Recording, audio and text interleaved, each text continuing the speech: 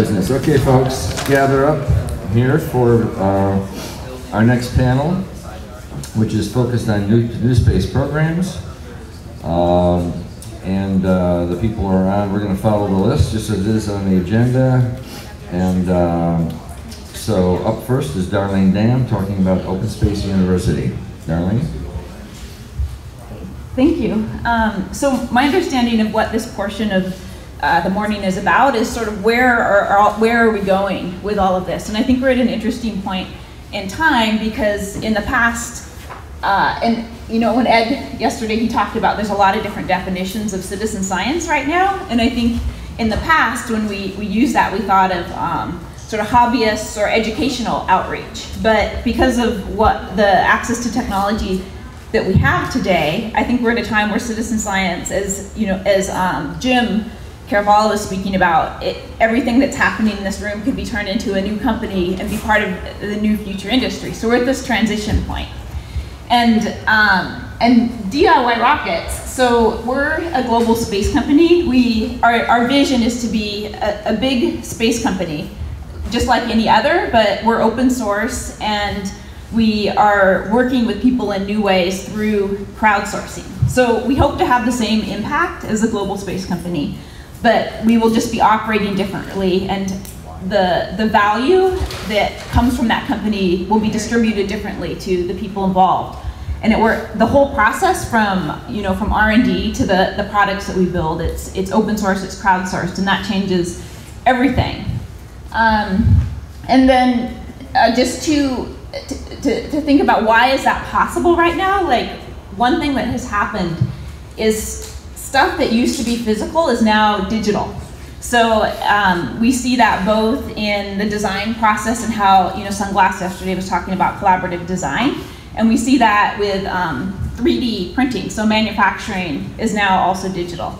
And when things are digital, it means that everybody can participate in it if you have an internet connection.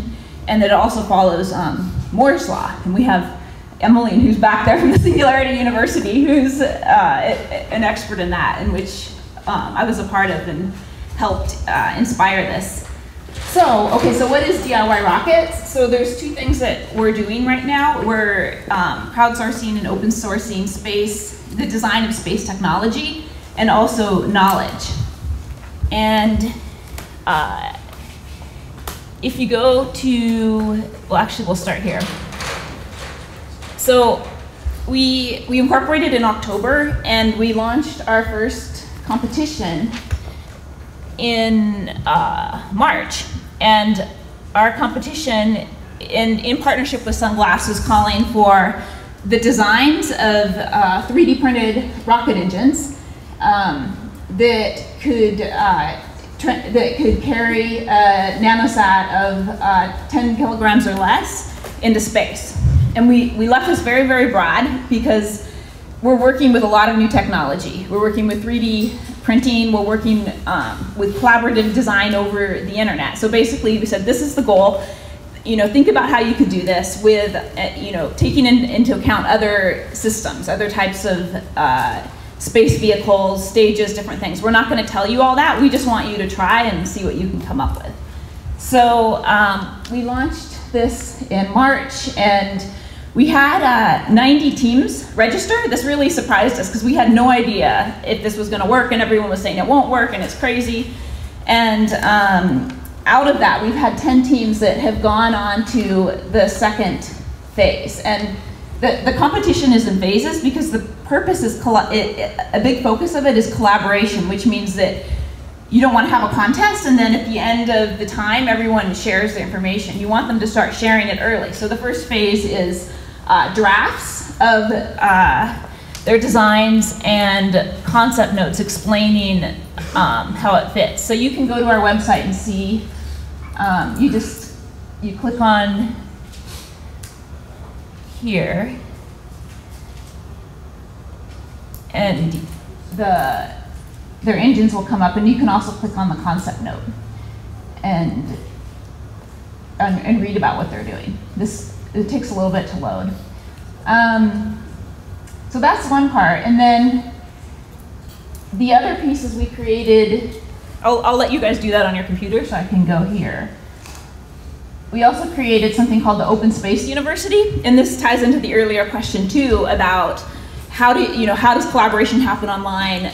How do you um, share what you learn and your knowledge? And the Open Space University is tapping into the online education revolution, which is also digitalization of uh, of education. And um, so, what you know, we're a new company. What we we started with is just pulling together all the resources that exist. So um, we pulled together uh, YouTube videos that are happening in talks, um, you know, that individuals are making alone all around the world. And, you know, if you scroll down, you can also see um, there's tons of tutorials on design, you know, uh, using all different types of, of CAD software. So we, we've just been putting that, pulling it together. And, um, and our plans for this in the future is we're setting up partnerships with different institutions. So where's Sean? Silicon Valley Space Center. So we, um, but we actually have a, a, channel where we're recording um, talks that happen here and, um, and, and are streaming it to the website. And this is something, you know, that we, we're hoping that we can all build together. If you have something that you think should, should be on here, you can submit it over our website. Um, and let's see. And then, it, yeah, and then so right now what we're working on is, you know, you can see DIY, DIY Rockets is homemade right now. We're, uh, you know, just a few months old. So we're working right now on lining up our additional competitions for technology, both to take it, you know, from the design stage to actually building and testing. But also, uh, we're identifying the different pieces of technology that we should be built that will, will make the most difference in the industry overall if um, there are, the cost can be brought down, which is what this is, is really about, and what's that infrastructure that needs to be built for the space industry as a whole. So that's it. Thanks.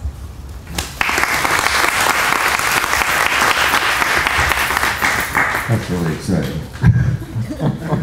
I got excited about that uh, okay, yeah, let's, let's have a little time for questions. I'd like to do that actually after each one of these. I think the questions are great. Yes.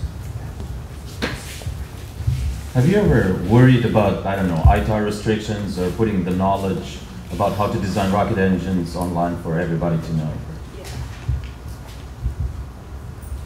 So there's two pieces of that. One is like right now, are you know, are what is what we're doing okay? And um, so for ITAR, for rocket engines, the the payload is over 500 kilograms, and there's also a you don't need to apply for a license if your information is in the public domain. And that's a big question. What is the public domain? Does it need to be approved beforehand? But what we're doing is we're following uh, DIY drones, which for 2008 has been uh, doing this, open, you know, public open source. And then there's a bigger question though, is this is changing, this is happening in every industry. We were talking about, you know, guns, 3D printed guns, and I think where it's gonna go is in addition to regulations, people are going to be responding um, similar to what happened in you know biotech when the group started monitoring monitoring itself and you have bioethics right now so i think we're all and individuals will be you know what we see it, almost like the immune system of the world individuals will be helping can I, can I ask a quick question i wonder how many professionals are in the uh, participating also. Yeah, how many professionals are participating? So, of the 10 teams, you can go onto our community forum and they've introduced themselves. Um, it, it, I don't have all the information about everybody, but I, I think there's, uh, I would say, three professional teams, uh, three universities, uh, and then there's a couple individuals. I don't quite know what their affiliation is. And then within that group, which was really interesting to me, we had um, Blackman Road Junior High team, and they they jumped in and they used Google SketchUp, and they've got their design and their concept note. So it's this is it's the whole range. It's breaking down barriers between um, who can participate in the space industry. If if you're 12 or if you're you know 90, and it's it's also it's about teamwork, right? So I'm really excited what we'll see. Yes, go ahead. Um, yes, this kind of ties in with the last uh, panel discussion too. Um, it's, it's, what about prior art? So, you know, on somebody's shelf, there might be some information about rockets or space technology or what have you. Um, and essentially, you're going to reinvent the wheel when it's already existing. How about access to that kind of knowledge of prior art?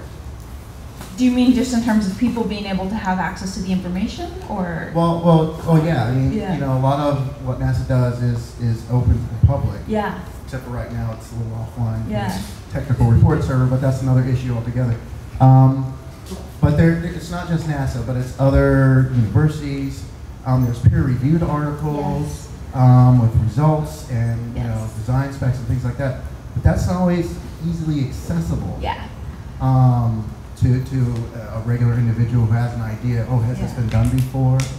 Has Yeah. it been done in microgravity? I Yeah. mean, is is are, are So that's what the Open Space University is, and Oh. we've been going one by one, finding this stuff and extracting it and putting it up, and then we're hoping with partnerships there'll be more. And actually, one of our entrants in the rocket competition just put on the community forum, let's start a, a space journal to cover all of this and share our research. So, and we can put that out through the Open Space University too. One quick comment on that. I mean, I'm, you know, my, my business has been doing a lot of that stuff for years, connected with NASA, and I'm astounded when I go on Google and, put almost anything, anybody's name, topic or something, of the, you know, the, the number of times I hit, you know, stuff I know nothing about that I presumably am sort of an expert on, right? Or exactly the thing I was looking for, some esoteric thing. right?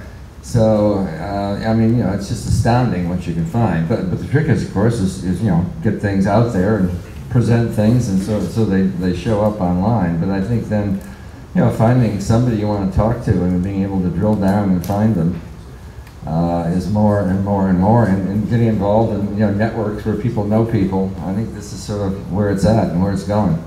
Yeah, I think this, this type of workshop is very useful. No, it is. Yeah, and, yeah, and just lastly, join, you know, join our website, share your knowledge, um, jo- join our forums, help the competition. We can help what you- what, what you're, you're working on there. So, Thank you. Uh, one more question. Gee, why don't you use that mic?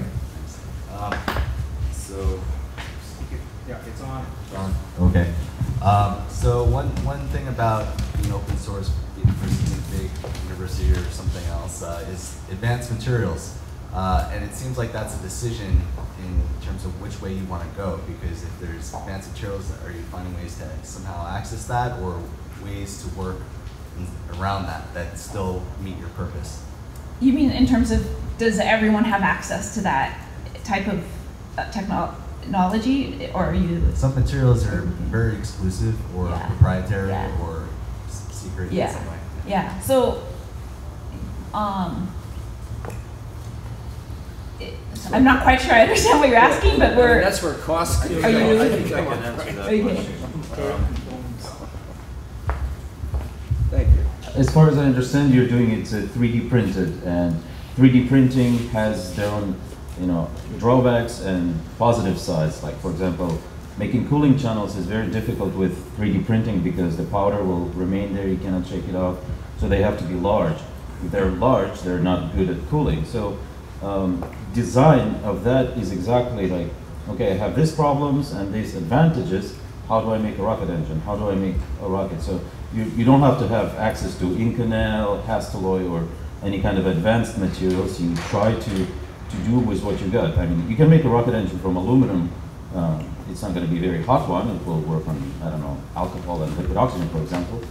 Uh, but you're not, you, you do not have to be in some kind of a special club of people who have access to super materials to build a rocket engine. You can just start do, building one in your garage and it will work if you apply your knowledge. It can be printed too. Just one other thing, Shapeways, it, it, they are, as the top three winners, they're giving credit for them to, to print. So that, so yes, yeah. Okay. Great. Okay, thank you very much, Darlene. Uh, We're going to shift to Jason Reimuller, who's going to talk about his uh, Possum program, another great name. Here he is. Okay. Uh, Thank Darlene for a great presentation. And uh, so my name is Jason Reimuller, and I want to share with you uh, Project Possum.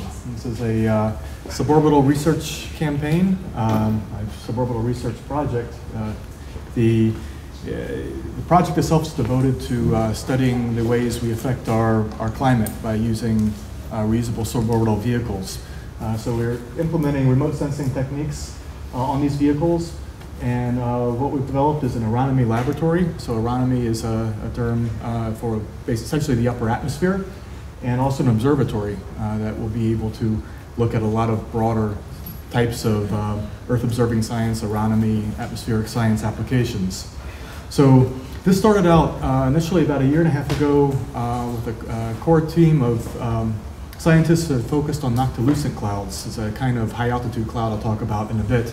And we proposed to NASA's Flight Opportunities Program and got some support to, uh, to use a reusable suborbital vehicle to actually fly through a noctilucent cloud. Um, and so this has grown to be the POSSUM campaign. Uh, POSSUM itself is a way to expand this opportunity that was based around creating imagery and tomography uh, to really optimizing what we had available in the, in the spacecraft and be able to create a suborbital uh, aeronomy laboratory that would be optimized for questions like noctilucent clouds that we hope to kick off here 2014 in, at a uh, high latitude campaign. And then the instruments that we will develop and qualify through this, uh, through these uh, campaigns, we're going to make available to a wide range of scientific applications into a modular interchangeable observatory. So first, let's talk about noctilucent clouds. Uh, two terms, depends if you're looking at it from below or above. Historically, from ground observations, they've been called noctilucent clouds because they appear to glow at night. They're so high up. They're 80, about 83 kilometers by the, by the mesopause region uh, that they still reflect light long after the sun is set. Uh, they've also been termed polar mesospheric clouds by the satellite community. So if you're looking at them from above, and this came about from these reflections very high up that uh, spacecraft have been seeing from this. So these, both of these terms refer to the same thing. Depends if you're looking at the clouds from below or from above. So I guess in a suborbital vehicle, there are noctilucent clouds going up and polar mesospheric clouds coming down. Um, so they roughly reside a little bit below the mesopause. They, they're believed to nucleate at the mesopause and then they grow, uh, pulling in water vapor until they become visible at about 83 kilometers. Below that, it gets too warm and they sublimate. Um, and you can only see them at a particular time. They're, you can see them a little bit after the, uh, the solstice time. So uh, it's the only time that that area, the meso uh, mesosphere area, gets cold enough. Uh, it's a little counterintuitive. Um, but you see them um, you know, from about the solstice to about a month, month and a half after the solstice. And um, so they, and they're believed to form out of, out of wa water vapor this time of year. So a few kinds of clouds that we've seen from the ground. Uh, the community terms them bands and billows depending on the wave structures. These features are believed to be uh, caused by uh, gravity waves. Uh, these are these are waves that are excited in the lower atmosphere by say mountains or or, or convection and they expand upwards and then they break, much like a wave would break on the shore, and deposit their energy in the upper atmosphere.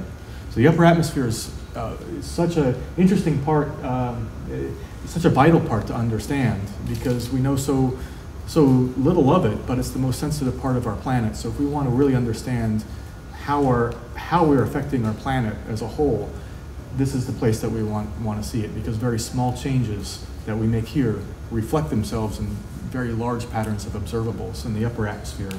So these are important because uh, of these, uh, as, as this proxy of the way we're reflecting it, it's the, also the, um, the connection with the, the solar environment. Um, historically, we first noticed these clouds in 1885. It was believed from the Krakatoa explosion that forced these aerosols into the sky. But uh, we've been noticing them, especially over the last four or five decades, that they've been increasing in brightness. They've been coming to lower latitudes, and we've been seeing them with more frequency. So we ask ourselves, why is that? Why could that be? Well, we know clouds, they need water vapor and they need cold temperatures relative to the dew point to form.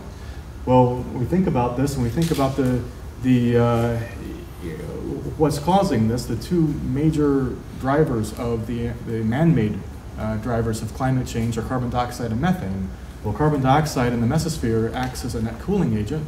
Methane photodisassociates to water vapor. Uh, so we think that these are the, the main drivers, that these could be indicative of the way we're affecting the, the climate down here below.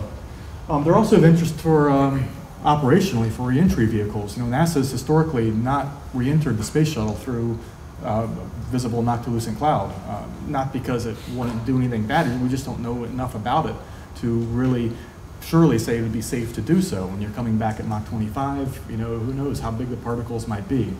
Um, and they're also a good proxy for understanding other worlds, say Mars, you know, somewhere where you have, you know, a, a, a, uh, a very uh, low density clouds, low density atmosphere. Uh, so the more we can understand our mesosphere, the more we can understand areas like that. So we've observed these from the, the ground uh, through ground observations. LIDAR systems uh, have given us limited velocity profile or limited vertical structures as well.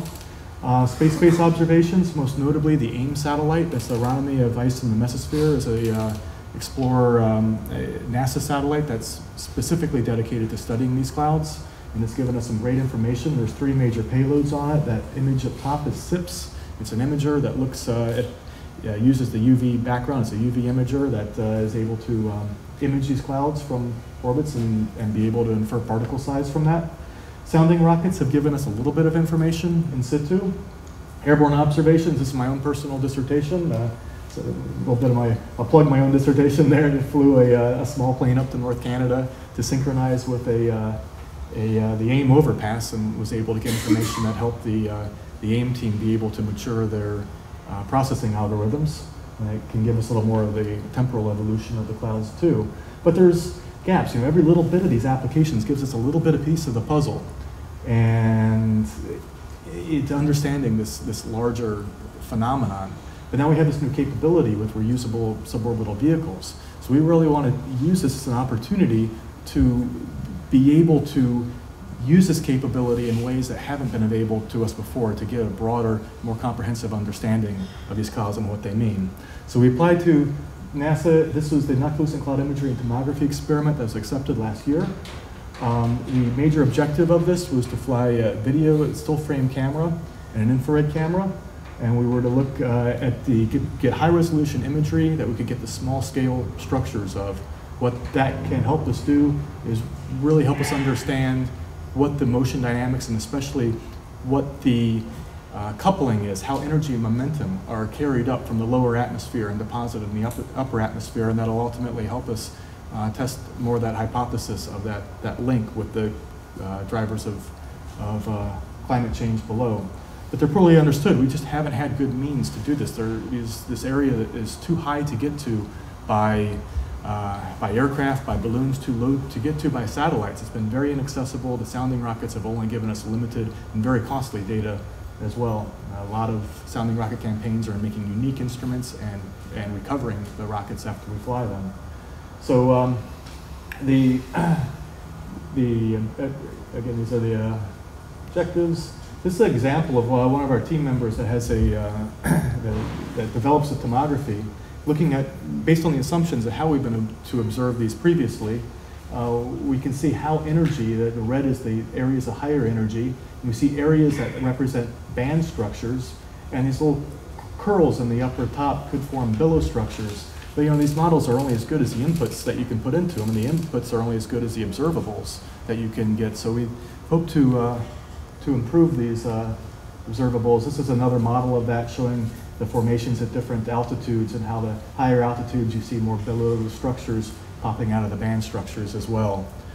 Uh, so a lot of advantages here than we've had with uh, suborbital, uh, than, than we've had available to us from sounding rockets. You know, we have a stabilized platform and give us uh, early improved imagery. We can fly a, a, vehicle like the Lynx in two hours that can help us address uh, changes and evolution within the period of even one night, um, let alone interseasonally. In sounding rocket campaigns, you might get one flight out of the whole season. Well, we can do this repeated within a night observation, within a, a season of a, a month observation, and, and, year to year in a very cost-effective way. Um, having a, a, a manned operator aboard will be able to specifically look at the microfeatures, the Kelvin-Helmholtz instabilities, the ways they're deposited, um, being able to pick out exactly what's of greatest scientific interest, reducing the overall mission risk as well by being able to monitor the systems, refine the settings of the camera, optimize things uh, accordingly to, um, uh, to uh, the, the signal in the background that we would expect to see. So this has evolved. We realized that we have this, this project that, that NASA supported us with, and we, uh, we realized that there was a lot of opportunity too. We had uh, three flights that we had uh, proposed, um, but we wanted to really bring back as much as we could from a scientific standpoint. We wanted to optimize the science. And furthermore, we proposed a week deployment. Uh, from our own experience, we can't predict when these clouds are going to show. So the best we could do is go up and wait. Well, there's a lot of opportunity there. A lot of time the vehicle may not fly.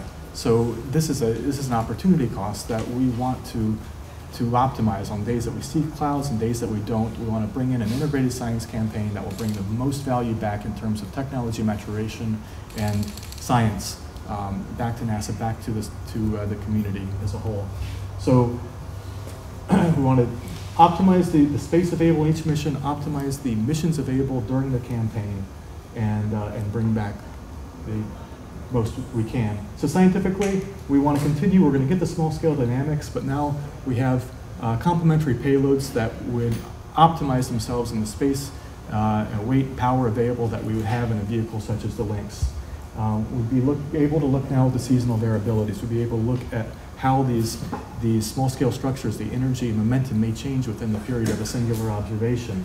With the infrared camera, we're going to be able to look at uh, OH layers, you know, different layers within air glow and see how they're coupled and, and look at more of the vertical structures, ways that LiDAR has never been able to, to give us before. We're going to be able to uh, repeatedly send um, mass detectors, uh, aerosol detectors to, to really get uh, a better understanding on, on, perhaps how these nucleate. This is one uh, payload that hasn't uh, quite given us the data we want to on the AIM satellite, but that's also looking at it from altitude 300 or 500 kilometers above these, where we'll be able to actually go through these. So we hope we'll be able to address this question more thoroughly.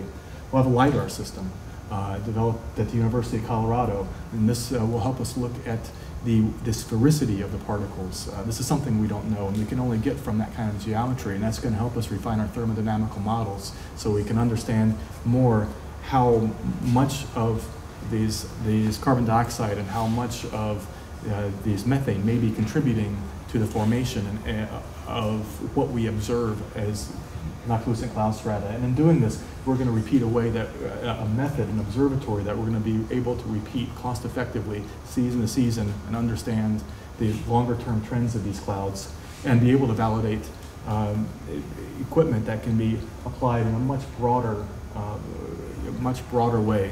So uh, Laboratory here, we've got Possum Cam.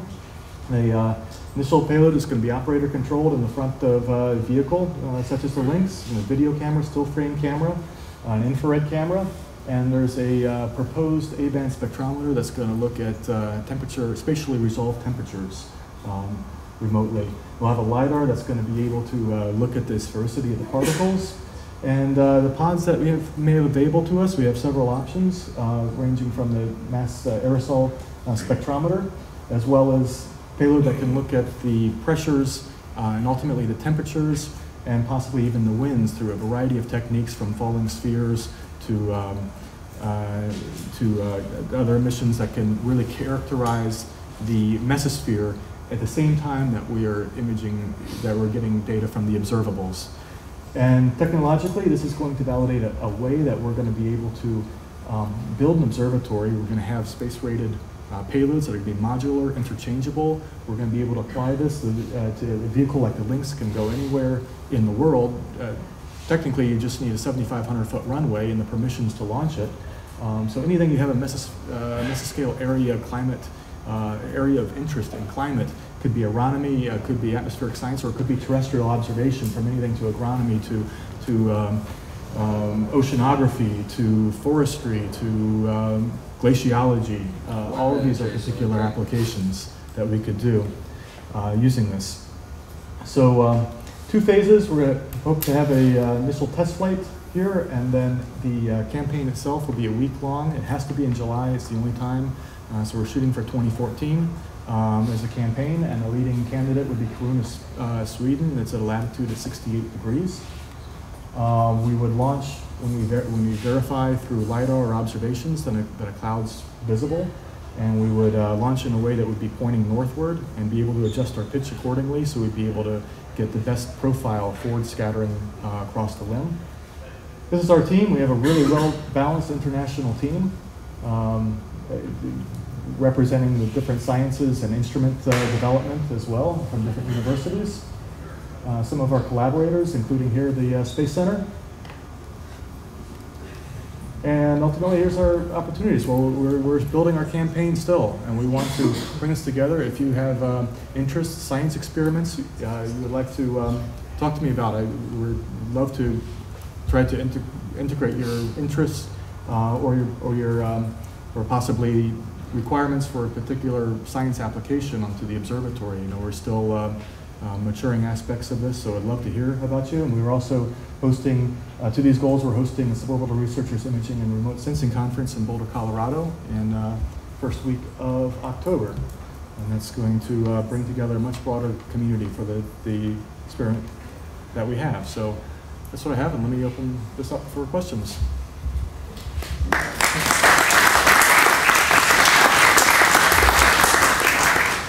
I can shout, I have a loud voice. Um, I, I don't know if this is an appropriate question to ask, but do, do you have sort of a projection of the cost for, for a whole? Do you have a projection for the cost for a full-blown possible flight on, on the Lynx, or is that not something you can talk about? Well, i- their individual cost, uh, according to Lynx, is ninety-five uh, thousand dollars, and this is an order of magnitude less than a sounding rocket uh, flight. Um, There are logistical expenses that are in our negotiation right now. There are different uh, areas, different parties that um, have interests and, and funding um, potentially, so that's under, under negotiation as well. But it's a fairly transportable um, uh, uh, structure, uh, vehicle as well, and So essentially, you would, you would, um, the cost would occupy a whole, um, a payload in a passenger seat, right? For, for, for one whole flight, right? Uh, yes, as well as pods and, and, you know, basically it's, we've been able to organize a large group of interests and payloads and we've, we've done kind of what we like to term an inverse science traceability matrix. We've taken what we've had, uh, what are our key under-answered science questions, and try to bring this around in the most uh, efficient way that, that we can to bring back the most science. Thank you. Okay. Thank you very much, Jason. Fascinating uh, collaborative study. Um, so now we have John Cumbers who's going to speak about synthetic biology.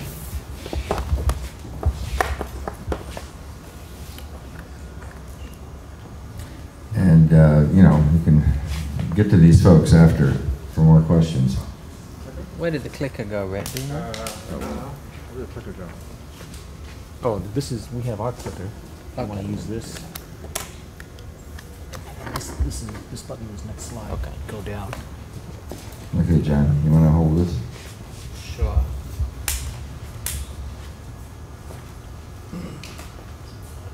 Make it Is that not working? Oh, I guess maybe it helps you turn it on. Let's see.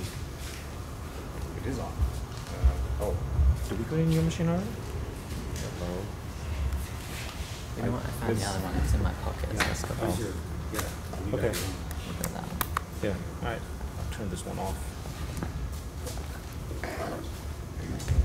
Okay, hi everyone. My name is John Cumbers. I work in the synthetic biology program at NASA Ames, and uh, I also uh, advise a bunch of startup companies in synthetic biology. And I'm going to talk mostly about uh, resource utilization in space and why biology is a really important self-replicating technology and one of the most efficient ways to use resources in space if you're constrained by mass, uh, which of course we are gravity holds us down. Um, if you read back at some of the writing of John von Neumann, the father of computer science, he advocated self-replicating machines as a way to colonize the moon. And it's some beautiful writing uh, on this idea of self-replication. You could send a very small mass, a robot, and it could not only perform a function, but it could also build another robot.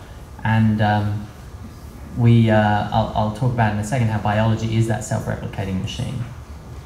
If you look at just the costs, and normally I play a game with the audience, but we haven't got time. Uh, but if you look at the, uh, the rising costs of, of uh, water, uh, if you uh, take it out of the tap, it's uh, 0.0008 cents per liter. If you bottle it up, uh, uh, buy it from Costco, about 30 cents a liter.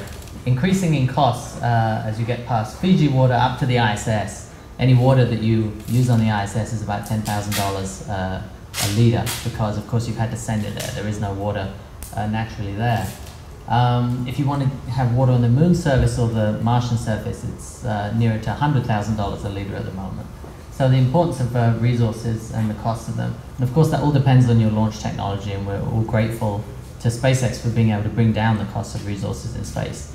But it also highlights the need to recycle it because if we take the lowest estimate for a kilogram of anything in space, which is about $5,000 uh, a kilogram, and then you look at the daily inputs of an astronaut and the daily outputs of an astronaut. Just in the consumption of water, we're talking five liters a day. Multiply that by $5,000 and you have a total cost of $27,000 that it costs you to get that water there for the astronaut. So if you start to think in terms of dollar values, which of course NASA doesn't, doesn't necessarily do all the time, but as people interested in startups and business, that's what you've got to do. It's incredibly expensive to get anything to the space station. Um, food in particular. If you look at the outputs of, the, of an astronaut per day, uh, you breathe out one kilogram of CO2 every day. So that means you're breathing out $5,000 of CO2 every day that you're in space. What does NASA, what does NASA do with that on the ISS at the moment? Well, it's converted into water and methane and the methane is just vented out the side of the ISS. So there's incredible inefficiencies in what we're doing at the moment uh, and an incredible need for technology. We're taking up food at $5,000 a kilogram and we're venting it out the side of the ISS as CO2. Um, meaning it's no wonder that the cost of the ISS, 1.5 billion per year, is just on crew and cargo transportation alone. So I see this as a huge market in terms of resources for recycling and in terms of resources for the conversion of CO2 into higher value products. Why biology? If I take a single cell and I put it in a test tube and give it the right conditions and the right media, in just 24 hours that single cell can turn into 1 billion cells. So that's a huge uh, replication of the technology just inside a very short space of time. And biology is a manufacturing technology. That single cell is capable of producing uh, millions of proteins and, uh, as I said, billions of copies of itself. The exciting part of the synthetic biology is that uh, a lot of new technologies have been developed over the last three decades in biotechnology. And people are viewing the genome of a cell, that's the ACs, Ts, and Gs, the DNA that makes the proteins that makes it do what it does, uh, as an operating system for the cell. And synthetic biology is trying to turn that operating system into an engineering discipline. Evolution has done its best to optimize it for efficiency. It hasn't done its best for optimizing it for human readability. And it is not human readable and it's extremely difficult to, uh, to write a genetic program that will do what you want it to do. However, there are some big technological advances that have happened in the last uh, five years, Craig Venter has um, really speeded up the sequencing of DNA. Now you could get your genome sequenced for a couple of thousand dollars at Complete Genomics here in Mountain View. Um, and recently, just uh, three years ago in Science, they published a paper on the complete synthesis of DNA. So not only can I read uh, a genome, but I can now write a genome. And if you uh, uh looked at some of the news reports, when they wrote that complete genome, they added in some poetry, some email addresses, just to demonstrate their mastery of the, uh, of the genome. Um, we know what biology is capable for if you, of. If you look at just a single seed uh, and the potential that it can grow into on Earth, imagine being able to send an engineered seed to the moon or Mars and have it grow into a habitat uh, of your own design. We are nowhere near understanding how a giant redwood uh, grows the way it does or what the genetic elements are responsible for that. But this new ability to rewrite genomes and rapidly screen for function is, a lot of people hope, going to allow us to one day uh, design giant structures and self-building habitats. where are we going to get these resources from? LCROSS, um, or Lunar Reconnaissance Orbiter, um, a couple of years ago, the identification of huge amounts of water on the moon, not just in the craters, but on the entire surface of the moon, at least 600 million tons of water. And I know you heard from Gene Keravala yesterday on Shackleton Energy, and of course Planetary Resources, and another um, other companies are also eyeing water as their first uh, target. If you look at what's inside that water, it's not, or what's inside the lunar regolith ice that LCROSS threw up, it's not just water. It is water 5.6% by mass, but also if you look down some of these lower percentages, uh, all of these are carbon-containing molecules, ethylene, carbon dioxide, methanol, and methane.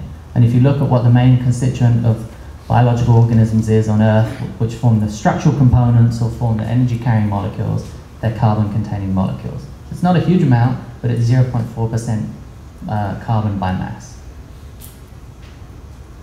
So here's a vision. We can send a robotic infrastructure to rove the moon. We can extract resources, volatiles, using solar. Um, we can feed them into a bioreactor that could produce food through photosynthesis. We can store that on uh, as a cache consumable for future human con uh, consumption. And we already have a planned mining infrastructure on the moon as well. Um, and of course, we can now beam up a signal of DNA to this DNA synthesizer and hot swap this technology here on the moon uh, for some new organism. Suddenly we don't want to produce a biofuel anymore, we want to produce a pharmaceutical. So we can rewrite the organism here on Earth, do the uh, research here, and then beam up the new organism and change the consumable that you're being produced. Um, so we worked through one of these examples of, of uh, the uh, lunar food production using spirulina, which is this organism you can buy in health food stores. It's a cyanobacterium. Uh, it's grown, if you fly into the big airport on Big Island on Hawaii, the airport, you can see huge spirulina farms here, here on Earth. Um, and so you could take in all these inputs, either from the ISS or from the moon, depending where you're going, have a core bioreactor technology for photosynthesis. You could demonstrate it and test it on small satellites and nanoracks, and you could produce an output which would be uh, probably something equivalent to a slim fast shake. I'm not proposing that it's something amazingly delicious yet, but again, if it's $10,000 a litre uh, and you want to get into space cheaply, then I don't think you'll be picky. But I hope that synthetic biology will allow us to increase the protein content, the taste, the texture of the food. Um, and we published this last year in, in the International Journal of Astrobiology with Mike Montague from the uh, J. Craig Venter Institute, showing that on a four-day batch, you could produce enough food for a human um, in a, which is 682 grams per person per day. Um, this is highlighting how, if you look at the work that Jim's talking about, Jim Keravala at Shackleton, they're talking about these uh, um, orbital depots for, for water, hydrogen, oxygen. Maybe we can add food to that. Attach our bioreactor to this existing planned infrastructure. Sorry, planned infrastructure is not existing. Uh, and they, they maybe as the Dragon is, uh, is launched from Earth, it can just stop by and, uh, and fuel up on food as it's going to its destination. Um, here's a poster outlining all the potential applications, uh, not all of them, but, but a good range of them. And there's a bunch of these posters on the table just outside if anyone's interested. Um, and then things that I'm not doing at NASA, which are also uh, pretty exciting in this area. There's a conference which uh, Sean came to last year, uh, the Synthetic Biology Startup Ecosystem. We're running it again in Mission Bay up in the city in November. And uh, the number of synthetic biology companies has quadrupled just in the last two years. So it's really uh, exponentially increased in the number of uh, companies getting involved in this area. And I hope we're going to have a very prolific industry here on Earth that's going to then be able to supply us future resources in space.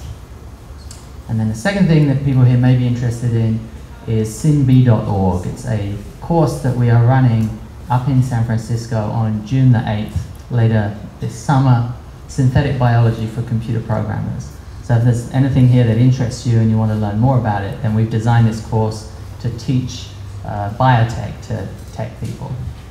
And uh, that's it. Thank you all very much.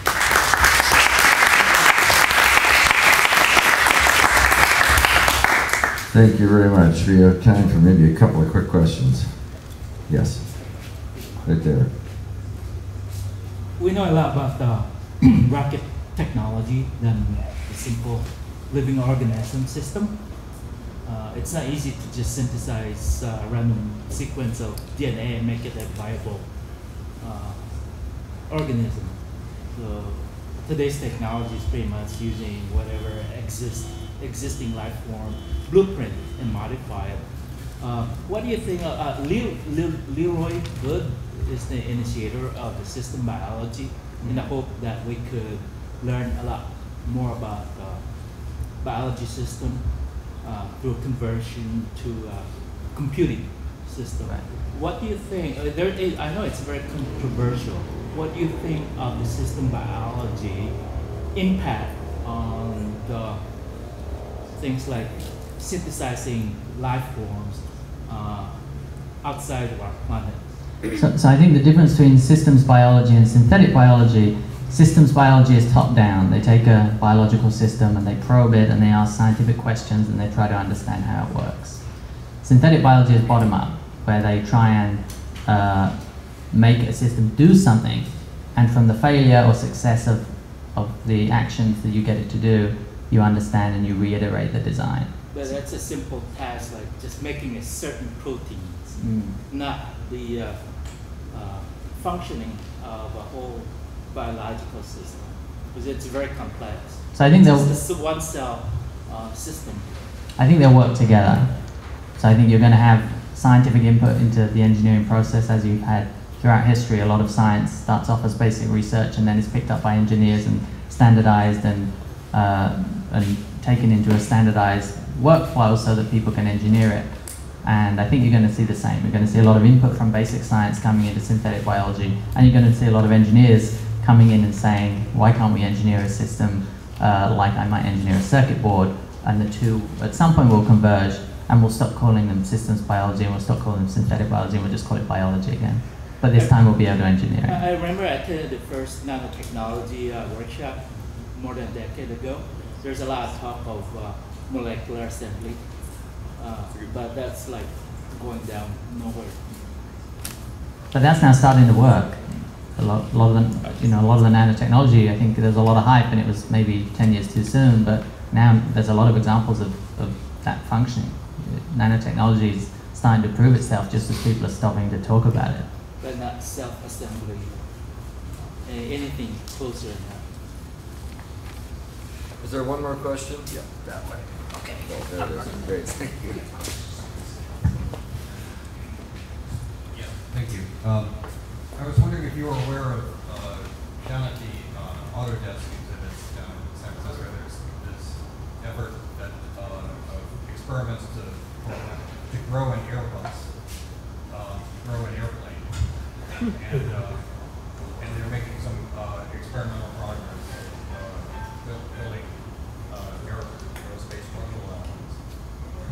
Uh, I know Carlos Olguin very well, who, who heads the BioNano programmable matter group at Autodesk. And uh, no, I didn't know about this project. I think it's fantastic.